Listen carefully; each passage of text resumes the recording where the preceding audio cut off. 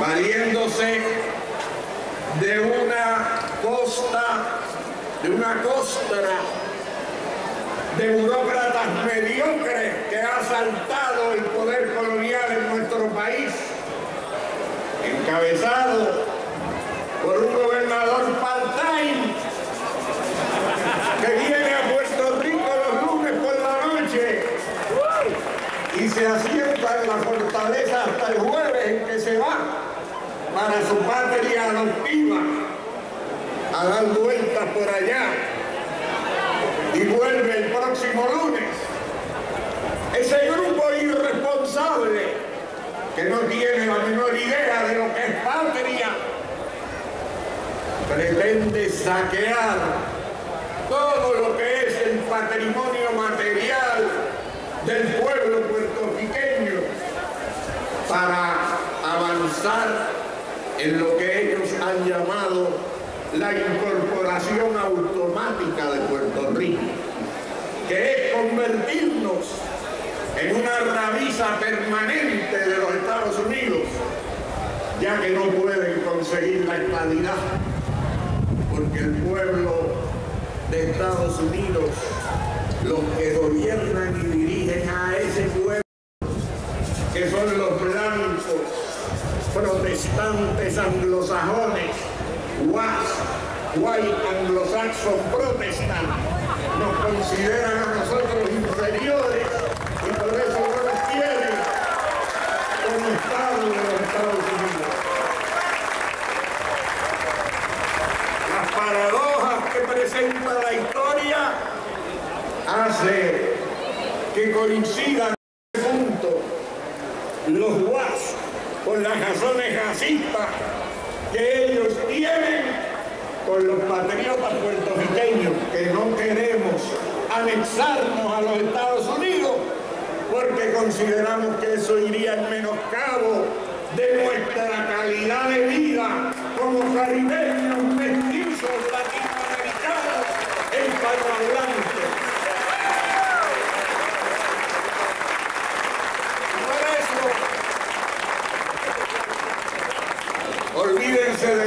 de y del proyecto que eso no va para ningún lado. Pero hay un peligro peor, que es el de la incorporación automática que está avanzando bajo la hipocresía típica del gobierno norteamericano y con la actividad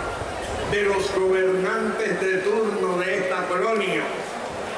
Y a eso es que tenemos que enfrentarnos los independentistas. Por eso, en esta tarde de hoy, yo invito a todos los grupos independentistas del país, los que hoy nos unimos en distintas horas para celebrar el mismo grito de Lares porque todos creemos que ese marca el nacimiento de nuestra nación puertorriqueña.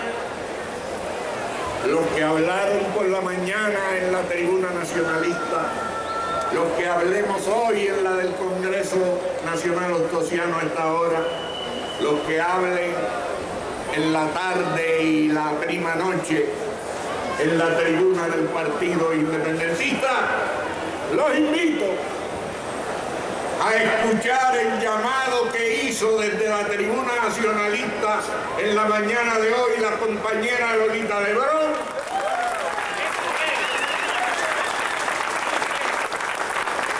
Y abrirse al diálogo, como modestamente ella lo propuso,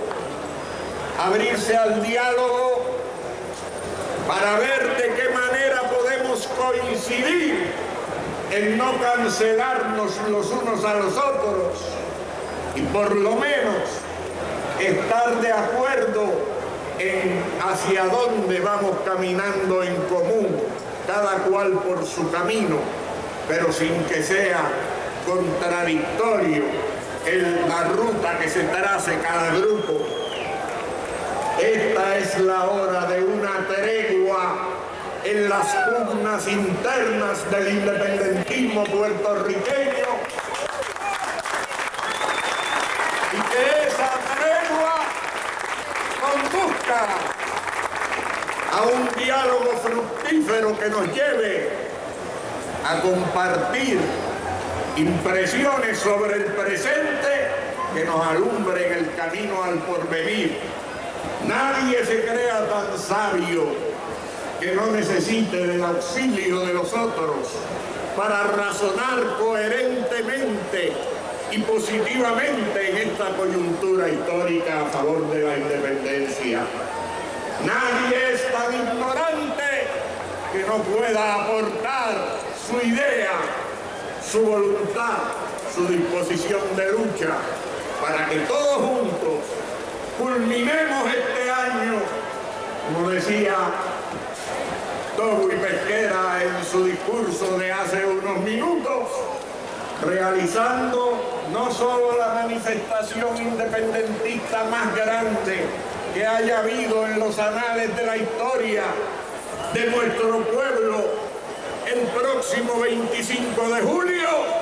sino que además sea ese el recomienzo de una ofensiva final que culmine en la proclamación de la República de Puerto Rico, por la cual han su vida tantos héroes y tantos mártires. Si la quieren negociar en paz con los puertorriqueños patriotas, estamos abiertos a ese camino de paz, es siempre el mejor. Este año tiene la oportunidad de hacerlo. Hay una promesa del presidente Clinton de que así será. Rectifique los errores que se han hecho hasta ahora. Libérense a los presos puertorriqueños en cárceles de Estados Unidos.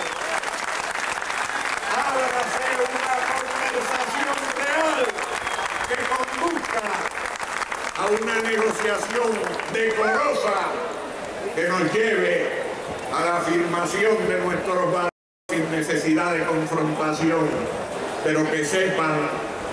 que si eso no lo hacen, en el 98 florecerá un movimiento masivo con la calidad hereda de los siglos de lucha que le dieron vida y que estaremos dispuestos, todos nosotros, los de unos y otros grupos, hacer valer sobre la marcha de las confrontaciones que se sucedan la consigna inolvidable del maestro Albizu Campos para quitarnos la patria, primero tienen que quitarnos la vida.